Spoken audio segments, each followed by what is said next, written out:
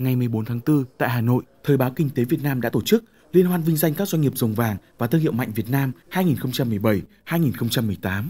Đây là năm thứ 14 liên tiếp Vietinbank được vinh danh trong top dẫn đầu thương hiệu mạnh Việt Nam. Chương trình vinh dự được Ủy viên Bộ Chính trị, Thủ tướng Chính phủ Nguyễn Xuân Phúc và Ủy viên Bộ Chính trị, Trưởng ban Kinh tế Trung ương Nguyễn Văn Bình gửi lãng hoa chúc mừng. Đại diện Vietinbank tham dự buổi lễ có bà Lê Như Hoa, Phó Tổng Giám đốc, được khởi xướng từ năm 2001, Liên hoan vinh danh các doanh nghiệp rồng vàng và thương hiệu mạnh Việt Nam là sự kiện thường niên do Thời báo Kinh tế Việt Nam tổ chức. Chương trình đã thu hút được sự quan tâm, mong đợi của nhiều doanh nghiệp uy tín hàng đầu Việt Nam và trở thành sự kiện được đón đợi của đông đảo cộng đồng doanh nghiệp trong nước, doanh nghiệp có vốn đầu tư nước ngoài đang hoạt động tại Việt Nam.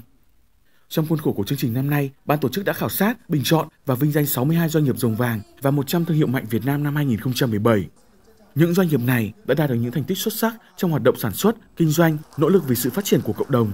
Trong số hơn 100 doanh nghiệp được vinh danh tại Liên Hoan, Vietinbank vinh dự nằm trong top dẫn đầu thương hiệu mạnh Việt Nam.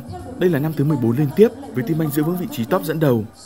Năm 2017, hoạt động kinh doanh của Vietinbank có sự chuyển biến rõ rệt.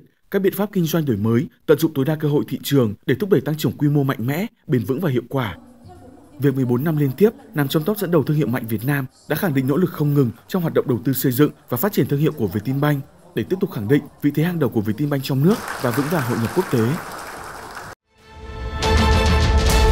Vietinbank nâng giá trị cuộc sống